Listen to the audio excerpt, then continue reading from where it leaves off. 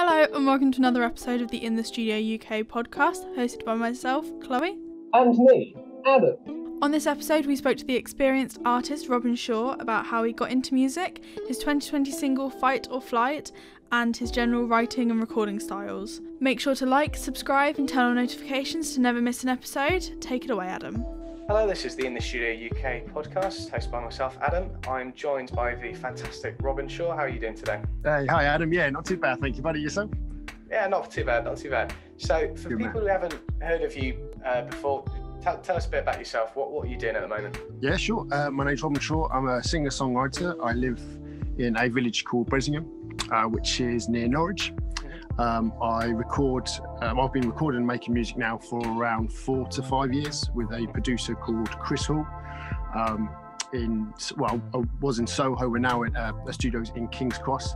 Uh, but of course, unfortunately, due to the pandemic, I haven't been able to be in the studio for the last uh, 12 months. But yeah, sort of uh, been making music now for around four or five years. So, what, what were you doing before you, you were making music? I've, I've got here something about street dance. Is, is that right? yeah, I can't get away from that, unfortunately. Yeah, I used to be, um, when I was sort of 16, I got involved with street dancing in various different talent shows, um, Okay. which, which looking back now, I, I never sort of ventured into the music. I never thought I'd get into music as such. It was, um, I enjoyed sort of the competitiveness of, Yeah. of street dancing and the battles and those sort of things. But looking back now, it kind of was my, my entry, I suppose, in, in performing um, and my sort of starter point in music, I suppose. But yeah, that, looking back now, it's, it's quite cool. yeah. Well, would you say, would you say you mentioned about performing and stuff? Does have your days, you know, your background in street dance, say, was it has it influenced the way you perform live, or just kind of more of a confidence thing than anything else? Both, actually. Um, it, Okay. I mean, music aside, it kind of gives you a confidence to feel like you're doing something physically active anyway. So it was quite good. I mean, I, I, I played football and stuff up till I was around 16. So I didn't, after I finished that, I didn't really have anything that I was sort of doing in terms of sports. Um, I also played table tennis as well. But in terms of uh, you know, it, kind of gave me a, a physical and a mental boost street dancing. But then it, it gives you that confidence to then go to perform. So then when you, you know, when you have got gigs in terms of music, in terms of singing, uh, because I've got a little bit of backlog of being in front of a crowd and being in front of um, different members and people you don't know, it's not so scary the first time you start performing and sing because you think, well, actually, I've done I've done a little bit of this in a different way. So that has helped me. Well, that's good.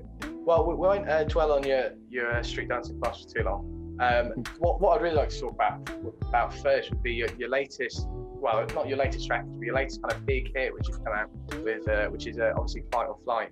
Um, can, you tell us the, the story behind that? You know, what inspired you to write it? Yeah, certainly, of course, can. Um, so the, the, my original track called Fight or Flight, we done about two years ago, um, and it was done in three hours. It was a very fiery song. Um, it was all about um, personal circumstances I'd gone through in terms of jobs and family, um, Yeah. relationship stuff. So it was all sort of very uh, one-liners, really. It was my first venture into slight rap type song. Yeah. Um, and the song done well, but it didn't really have much behind it. And then last year, I was very fortunate. I got in touch with the rapper DJ Ironik, who um, featured and, and made his own version, put his own verse to it. And fortunately, since last summer, the song has kind of has, has took off, and um, I've been very very lucky to, to get in touch with someone like him with his caliber and his experience. But um, yeah, it's been a, quite, an experience so far. How did you find, you know, because most of your tracks that, that I've, I've seen at least, it's it's only been you on it. You know, how, how did you find the different experience with with having somebody else on your track as well? Would it be something you'd want to do again? Definitely, I think it's. I mean, it's obviously very nice to have your own song and to feel like, oh, I've, I've. Mm. It, it, it sounds a bit selfish, but oh, I'm the only one that's been on this. Yeah, but then yeah. I think, I mean, with this experience, it doesn't matter whether they're well known or not. I think any type of collaboration is is fantastic because it, you get to see someone else's perspective on your song as well as what they've got to offer. Um, I certainly felt like, I, I mean, I didn't have any questions when it when I was approached by him because I thought, yeah, I'd love to. Of course, you know. His, status and what he's achieved in his own career, I knew it might help m- myself, but yeah, I think it's fantastic. Any type of collaboration at whatever level you're in music is brilliant because someone else's creativity is always going to help, and you get to learn what other people do as well. Yeah. Um, because you can be, like you just said, making your own music and sort of you kind of get a little bit channel visioned, and it's good to see what other people have got to offer because what you might not have, someone else might have. And so I, I would always encourage, not all the time, but to try and get the odd collaboration. It does certainly does help you. That's good. I mean, in, in most of the music, in fact, as far as I can tell, all of the music you've done, you've you know, talking about collaboration, you've had this relationship with the producer Chris Hall. Um, yes. You know, how did how did that start? You know, t- tell us all about that. Yeah, I've sort of um, I do bang on about Chris. Really, I'm, I'm very um, I'm, I'm, really proud of him.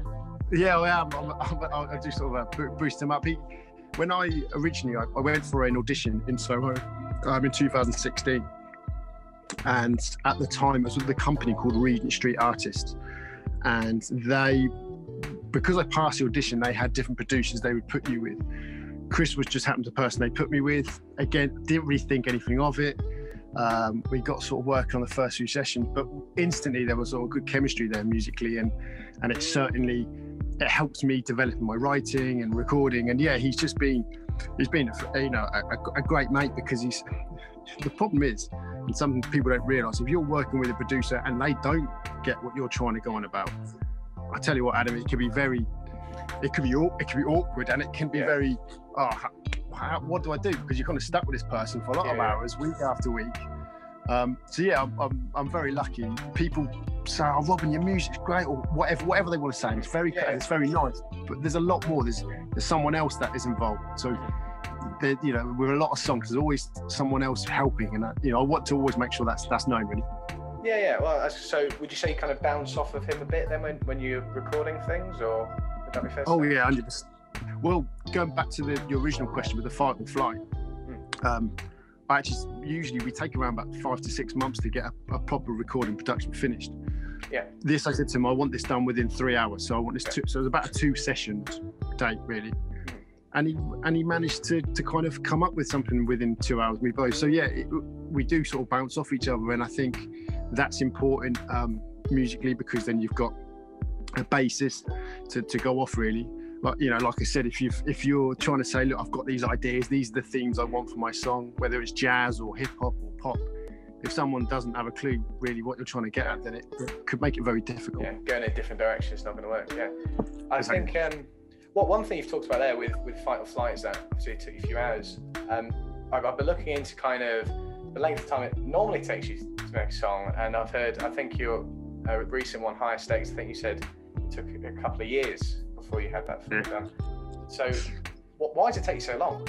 it's basically what I'm asking. Uh, I'm a little, I, I, need to speed up a bit, don't I, really? But yeah. no, I, think the, the, right, the, the writing part, the, the Higher Stakes song, I started around 2000, and, must have been 2018. Mm-hmm. Um, a lot of my songs my writing, I, I, I, do take my time in the process because yeah. there's a lot to it. And then the, the production part probably is, it takes, you know, a few months, mm-hmm. but it's more the writing, it's more getting it together and sort of um, starting it up. But I suppose because of the traveling, because of where I'm from and where I'm recording in, in London, it, it's, it takes a little while to to go back and forth to, to, to get that stuff done and also to get it done right. I, am I'm a big believer that you shouldn't rush anything. Um, and I, I, mean everyone's different but i think if you've got something that you know you believe and you think has got some value and some worth to it don't rush it because it will get done you know you don't want to sit on it too long obviously but you, you want to you want to know you can get it done right and that for me is something i've had to learn you know over the last few years uh, you're very um probably good you take it so so long to do it because I've, I've noticed that in a lot of your songs you're very honest in your lyrics um, a lot of things which perhaps people wouldn't normally want to share. You're very open about things. Is that kind of is that tricky for you to do, or do you kind of thrive in, in doing that? You're, you're first well. The first person that in a long while about the honesty, and, and uh, I appreciate you picked up on that, Adam. Yeah, I, I, I do. Weirdly enough, it doesn't phase me. I, I think if you if you're going to make music and you're going to write, you can't lie. You, you can't pretend of, of who you are. Um, I find it very therapeutic to kind of reveal that I've revealed some, you know, personal circumstances or things I found difficult. Um, but it, it, goes back to that old cliche: you can only really write about what you know about. Yeah. Um, there, there's no point of me writing about being a tennis player or something because if I don't play tennis, or there's no point of me writing about trying to build up a business if I haven't made a business. So I might as well draw on experiences that I've gone through. And as, and as silly as that sort of may sound, it's truth. If you, there's no point of you know trying to create something that you're that you're not. So it, it's easy for me to be honest. And then I, I don't know. I think I found a way to kind of make it, hopefully make it work, and hopefully going forward, there's, there's more that I, that I want to show that I can. Um, a storytelling almost. Storytelling is the key for me. Yeah, certainly does come across, and I, I guess in a way that's potentially why you spend so long doing it to make sure if you know if you I'm going to tell these stories, let's do it right. Yeah.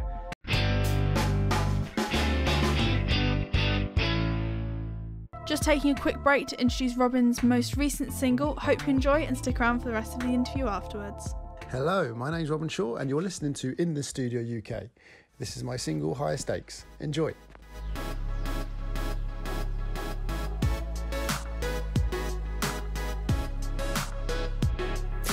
This month I lost 300 pounds. I tried to pick a penny up.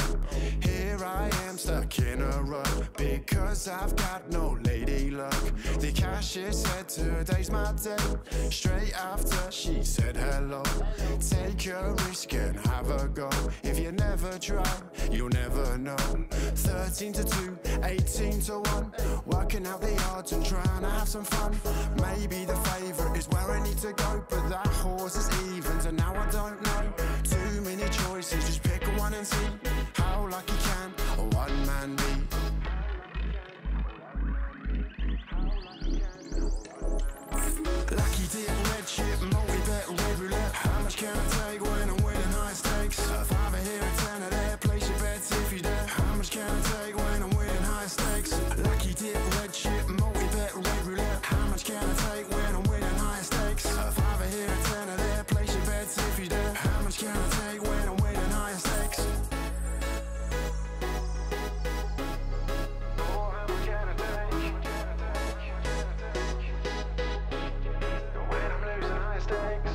O'clock game's about to start. Win or lose, I'll go with my heart. As long as these games all go my way, all my problems will fizzle away. Everyone looks so smart in here. Emotions range from high to low. Everyone wearing their suits in here. Some with a tie and some with a bow. Big bet, small bet, lose or win. 23 red, gotta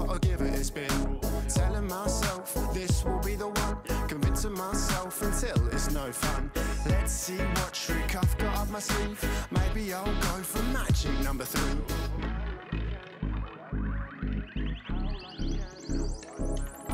Lucky dip,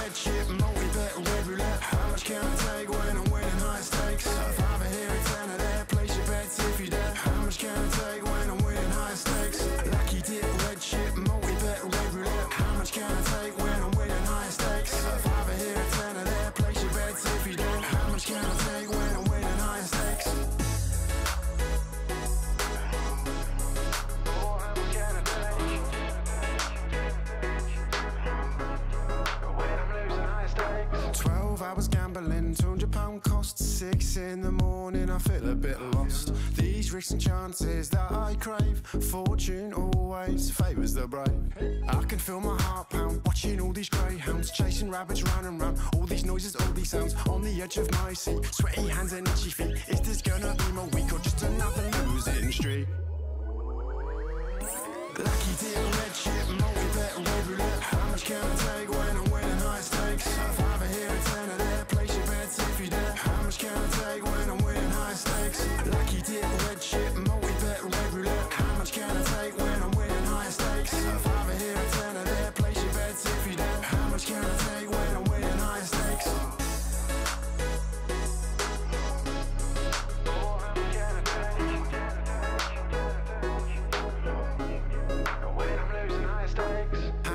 pocket, my last bit of cash. One more go, gotta give it a bash. I'm going for the win. Will it come in? No more bets, please. You, you've you've uh, you mentioned uh, previously that you're a big fan of, of wordplay within your music, and that definitely comes across as well. Um, well, what's kind of influenced uh, you writing in that kind of style? Like who has influenced that? My, I mean, I, I'm a, I'm influenced by a range of artists, but if I had to pick sort of my top three, I'd say I, I listened to a lot of the Streets when I was a teenager. Um, Professor Green is someone I've always been influenced by. Um, but uh, I've said this before. For me, I mean, I, I, mentioned two artists there who are sort of you're probably class maybe in the hip hop, possibly British rap genre. But then I'm, I'm, I'm influenced by um, James Bay, uh, Mumford and Sons, yeah. uh, Post Malone. I, I, think for me, I've always listened to music, and if it can tell a story, I felt very connected to it. Um, the reason why I love wordplay so much because I think words are fascinating. I think English literature is fascinating.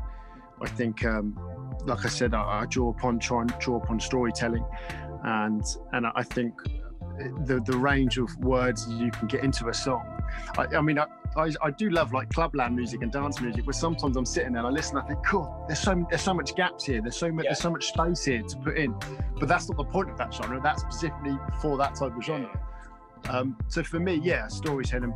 The, the one thing I found though, when I've been making music, is I've always I've over over what's the word overwritten.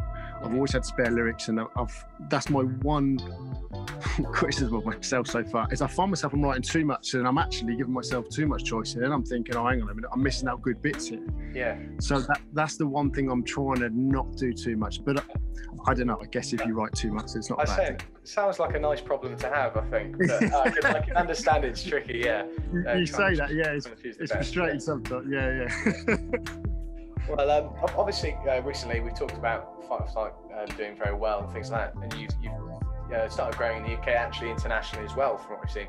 Uh, partic- particularly, it seems on the radio. Um, how how has this come about? That this seems to be quite a big medium for you. Be, I've been very, yeah, very lucky. I think. Um, I mean, in terms of radio, I mean, it, it, whether it's it could be locally in my town or or any if the countries abroad, it's just, there's just as fantastic, obviously. Um, but yeah, in terms of the the international radio, that's just been through perseverance and just trying to reach out and and trying to the problem is you, there's obviously certain radio stations that will only play certain music, but you, so you want to do a little bit of research beforehand. I mean, I'm very thankful yourselves have, have, have, supported me and added me to yeah. Spotify playlists. You know, that that in itself, you know, means so much to me. Yeah. The, the more people that can hear your music, the better. And you know, playlists and radio stations are a great outlet for that. Mm-hmm. Um, but you're not guaranteed to get the play, so, no. so you know, to get to get those responses is obviously it mean, means a lot anyway tr- tricky business, I suppose. have you got any particular plans for, for growing your music further? Have you got any specific plans, or just keeping at what you're doing right now? Yeah, I mean, I'm just just going to keep being being as as persistent as I can. I, over the last few months, I've actually found I've had a little bit more success with uh, music blogs and magazines. Um, and I've, the reason why I want to do that is because previously, when I've released music, I've sort of waited to the day, put the song out, and then contact the people. And I know it sounds silly, but actually, there's so much importance to getting people notified. I think before, you know, a few weeks before, and it sounds silly, but I, I haven't really done that previously. I've sort of yeah. put the song out and then done the work. Well, actually, there's work to do beforehand, really. Mm-hmm. So yeah, more music blogs. I think hopefully maybe more, more, a few more features and. Um, but then, yeah, I say that you people might just turn around and go, nope, Robin, not interested." So you can't guarantee yeah, that. I'm sure, sure they won't. Um, but, um, well, speaking yeah, of, that's, that's the... yeah, speaking of releases and things, have, have you got any new music on the horizon? Anything coming out? Is what what can you tell us about that? Yeah, certainly, mate. Um, I've got a song called "Today's Generation," mm-hmm. uh, which is a a complete overview for of uh, uh, political and revolutionary changes we've sort of seen over the last year or two.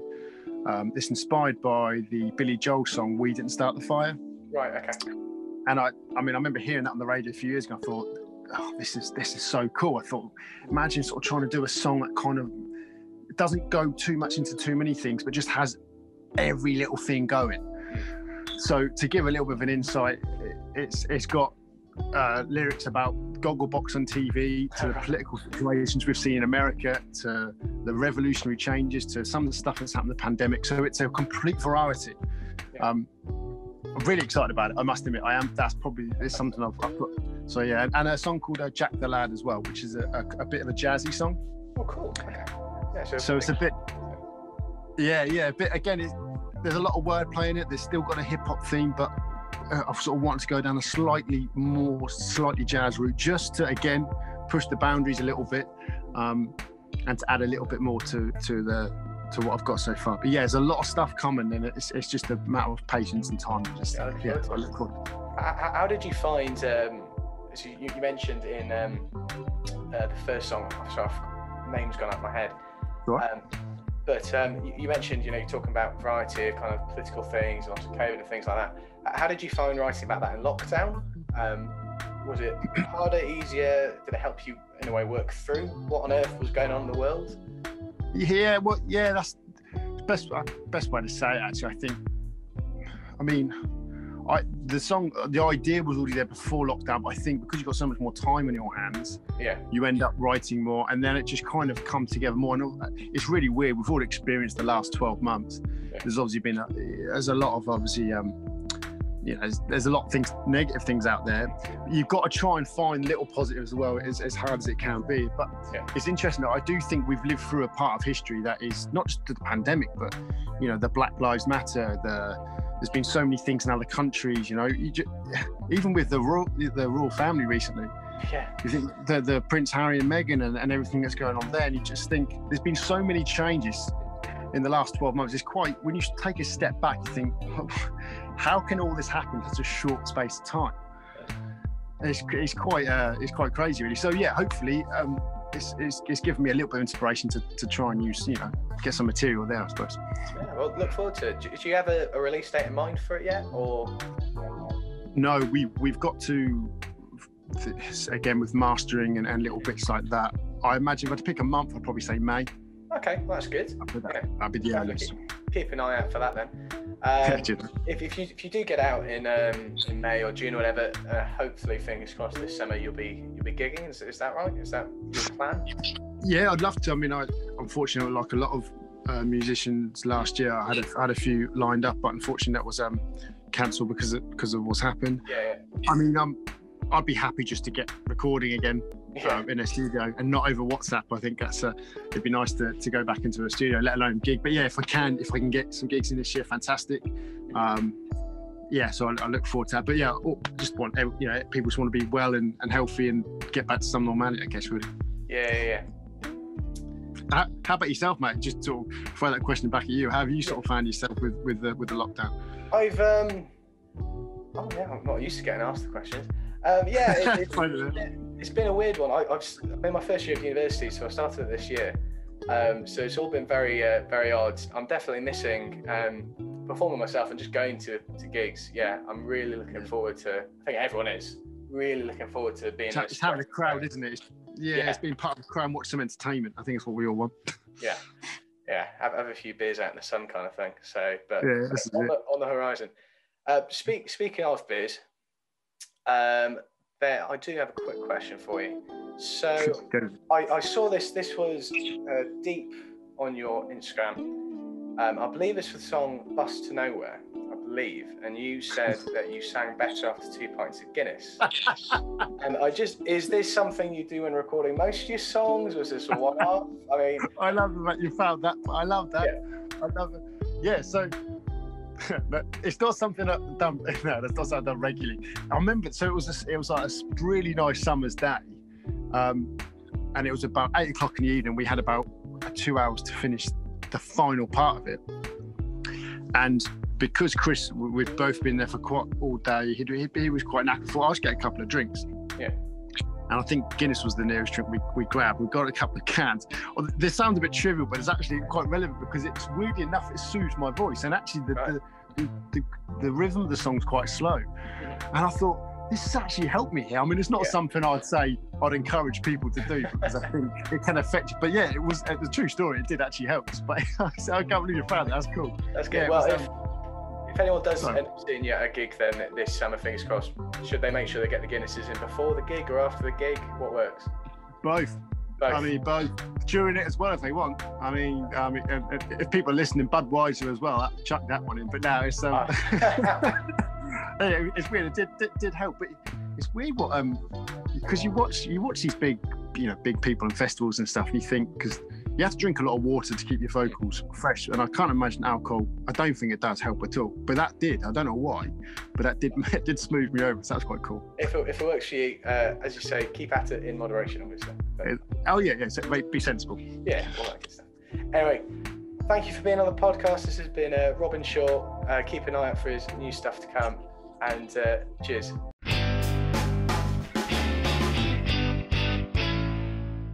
Thank you for listening, everyone. Make sure to support us and follow Robin with all the links in the caption below. We'll see you for another episode in two weeks' time.